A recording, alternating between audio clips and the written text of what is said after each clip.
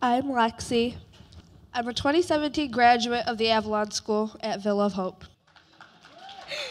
A young woman who overcame drug addiction, rose above the bullies, and found the strength to live and love my life. If it wasn't for Avalon and the Villa, I promise you I would not be here today. Because when you work with the Villa, you're never alone.